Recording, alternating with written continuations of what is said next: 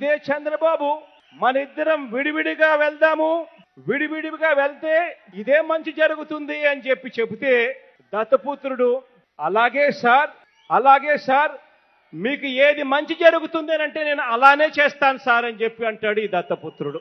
ఇదే చంద్రబాబు దత్తపుత్రుడితో నువ్వు పోటీ చేయకు అంటే దత్తపుత్రుడు జీ హుజూర్ నేను పోటీనే చేయను అని అంటాడు. ఇదే చంద్రబాబు దత్తపుత్రుడితో కమ్యూనిస్టులతో నువ్వు ప్రస్తుతానికి కలువు అంటే దత్తపుత్రుడు సార్ తప్పకుండా కలుస్తానంటాడు.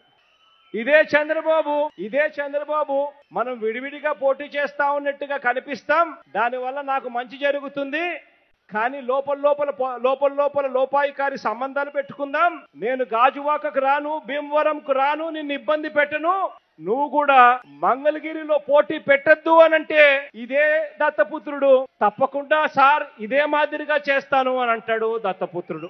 ఎన్నికల్లో ఓడిపోయిన తర్వాత ఎన్నికల్లో ఓడిపోయిన తర్వాత ఇదే చంద్రబాబు మళ్ళీ బీజేపీకి దగ్గర కావడం కోసం మళ్ళీ బీజేపీతో భయపడి వాళ్ళేం చేస్తారేమో అని భయపడి ఇదే చంద్రబాబు ఇప్పుడు బీజేపీ పక్కన నువ్వు ఉండు దత్తపుత్ర అని చెప్పి చెబితే చిత్తం ప్రభు అని చెప్పి మళ్ళీ బీజేపీ పక్కకు చేరుతాడు.